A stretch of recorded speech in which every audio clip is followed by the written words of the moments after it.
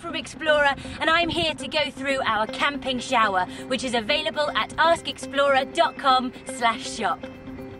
Inside your handy carrier bag, you will find your shower head with the adjustable pressure, the powerful and durable electric pump, connected to a 6 metre power cord with a 2 metre hose extension. This goes into your car lighter. You'll find a water resistant on and off switch. And you'll find S-hook and suction plugs for mounting, as well as two stoppers.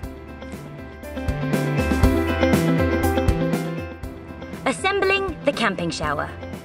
First, attach the two stoppers to the component that will connect to the shower head. Then place on your shower head.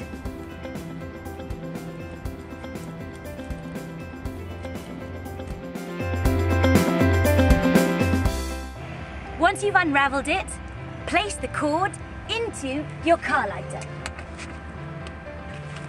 And take the electric pump and submerge it fully into your water container. Once you've turned on your car, your camping shower is ready to use. Simply press your on and off switch. And hey presto, we have water. You can use this pressure gauge for your chosen strength of power. Don't forget that with your camping shower, you can either have it on a hook or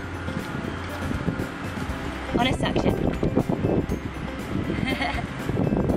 well, that's it from me. I hope you found this useful. For any queries, email us at ask at askexplorer.com or check out our website, askexplorer.com. Happy camping!